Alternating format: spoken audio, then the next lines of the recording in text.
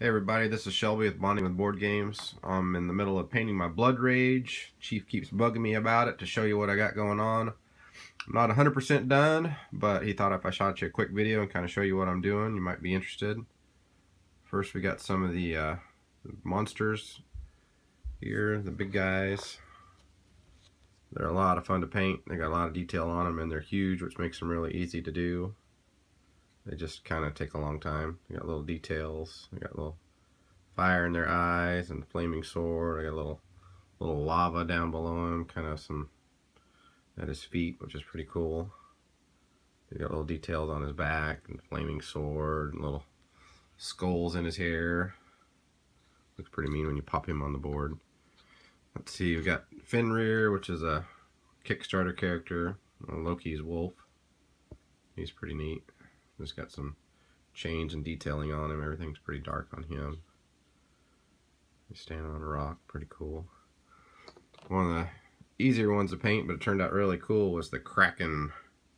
You pop him out on the water, he looks really evil. And I, I love how the water turns out. Just using the uh, glazes and washes from Citadels are pretty easy to do. But my daughter Olivia started him, and then I just tuned him up a little bit. He looks pretty cool on the board. Uh, got the troll out here. He's a troll. got some grass down on his feet. Kind of dreadlocks with some gold detail in there. Pretty cool. Cool Mini or Not stuff. So neat. They got little bones and everything on the on his waistband there. Little teeth. Pretty neat. And the uh, guy I had a lot of trouble with, almost had to do him twice, was the frost giant. Just trying to get him to look like he's out in the cold. It's kind of hard to do. I actually have some salt down here on the base, some big chunky kosher salt, trying to make it look like snow. And his hair's all kind of frostbit. I didn't get his skin quite as light as I want. I just so I just kind of made him kind of like he's dirty and cold. And he's got a big cool stone above his head. I thought that was really pretty pretty neat. With a little hair detail on him everywhere. What what? You got a booty hanging out. My kids are all, that's disgusting. Look at that hair down there. I'm like, well, he's a mountain frost giant. What are you going to do? Not wearing any clothes. It's cold outside. Got to grow his hair long. Then I've got, I think, four of the armies done. And they're just pretty basic. I tried to do some of the skin colors different just so they stand out a little more. And then just have a little bit of sawdust and stuff on the base with some washes. Let's see, there's that guy. We got the Chicky Poo Army. I forget what they're called. Oh, her eyes are horrible. I need to redo that. I shouldn't show you that one. Hers aren't much better. I kind of quit doing eyeballs on some of them after a while. But from a distance, it looks really good. Usually don't hold them up to your face quite that much. But they have lots of neat detail on them, too. Uh, let's see what we have here. We got the Spearmen which are just pretty neat. And the, uh, their shields are really awesome. How much detail are in those. And one thing before you paint your things, make sure your uh, your commanders and your armies match up. Because these Yahus I had all done awesomely blue until I was done and realized, oh, this was the red army. That's awesome. Had to redo them. So that was not cool what other? I guess I only have three armies currently. Now here's some other guys. Well, these are also with the red guys. These guys with hatchets. Little kind of mustaches on them.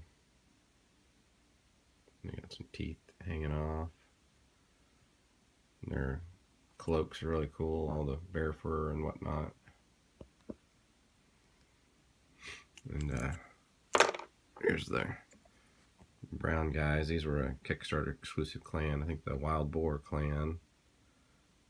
Which are pretty neat. But just lots of cool little detailing. You can kind of get them pretty close to looking really awesome. And as much time as you want to spend on them, you can you can spend on them. I can't get his face to focus there. But pretty neat. Even a little detailing on their gloves and stuff. They got little stuff going on. Uh, what else was I going to show you? Oh, the, uh, here's their, another commander. I forget what the leaders are called. And I played this at Board Game Geek convention and it was super awesome and I haven't played it again because I don't have it painted yet. I've been really wanting to get it painted before I get to the table so I've got to get uh, a little more of that done. He's got some really cool detailing. And what happened on the guys that were the blue clan, I just kind of painted them all a blue just to make it easy because then I just had the faces and stuff to paint. So just kind of how I started out and then started detailing the different work on them, the little details. But eventually, here's their commander. I'm done with him. Eventually, that's what they'll look like. Just lots of cool silver and little tiny details in their armor. I mean, just really neat. I find this pretty relaxing to come home and if I got time, I'll turn on a Netflix and kind of listen to it as I watch. Uh, well, I say listen to it because I'm painting and I look over occasionally. And also while I'm doing that, I'll do a little uh, Scotch test dummy action from the chief. Got this glass from him that helps helps the painting go by. So that's all I got done so far. But as you can see, I still got uh, the Mystics to do. I've got some Kickstarter extras. I got the Wild Boar clan done. I got the fifth player stuff yet to do. I got the Gods of Asgard. I was actually going to show you one of the gods I got done. Here she is. Well, that's it. Once again, this is Shelby with uh, Bonding with Board Games, and that's what I've got done on my Blood Rage so far.